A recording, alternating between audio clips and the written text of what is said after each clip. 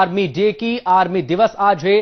سترواں army day منایا جا رہا ہے، لیکن ان سب کے بیچ بھارتی سینہ نے پاکستان کو توڑ جواب دیا ہے۔ پاکستان کے سیز فائر النگن پر بھارتی سینا کی طرف سے جوابی کاروائی کی گئی ہے اور جس طرح کی خبریں اس کے مطابق ایل او سی پر سینہ نے سات پاکستانی سینکوں کو ڈھیر کر دیا ہے اور چار پاکستانی پوسٹ بھی پوری طرح سے تباہ کر دی۔ پاکستان نے اپنے چار جوانوں کے مارے جانے کی پشٹی بھی کی ہے۔ خبر یہ بھی کہ اس کارروائی میں تین بھارتی جوان بھی معمولی روپ سے زخمی ہوئے ہیں۔ لیکن سات پاکستانی سینکوں کو ڈھیر کر دیا گیا ہے۔ آج ہی دو ٹوک لہجے میں چتابنی بھی دی گئی ہے۔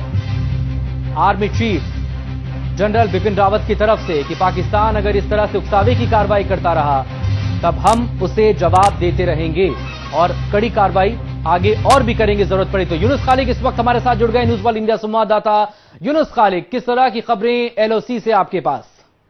دیکھیے، جیسا کہ آپ جانتے ہیں کہ کل رات سے پاکستانی فوج نے سیز فائر وائلشن کا النگھن کیا۔ کل رات سے ہی وہ رک رک کے جو ہے موٹر داغے جا رہے تھے انڈین آرمی کی پوسٹز پہ۔ اس کے جواب، اسی کا جواب دیتے ہوئے جو ہے انڈین آرمی نے آج جو ہے، ایک تو سات پاکستانی آرمی کو مار دیا۔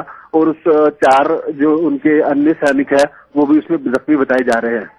پچھلے ایک لمبے وقت سے دیکھیں، لگاتار سیز فائر وائلیشن بڑھا ہے۔ پاکستان کی طرف سے کیا امید کی جائے؟ ابھی فی الحال کی اپڈیٹ کیا ہے کہ ابھی وہاں پر فائرنگ ہو رہی ہے اور کیا آگے آنے والے وقت میں پاکستان اس سے سبق لے گا؟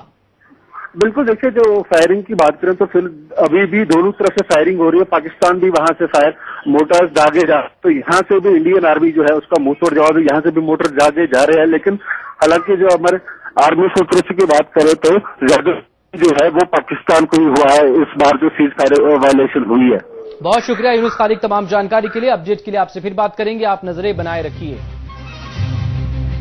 تو این او سی پر کوٹلی سیکٹر میں سینہ کی یہ کاروائی سات پاکستانی سینکوں کو ڈھیر کر دیا ہے۔ بھارتی سینا نے یہ موتور جواب سیز فائر اللنگھن کا۔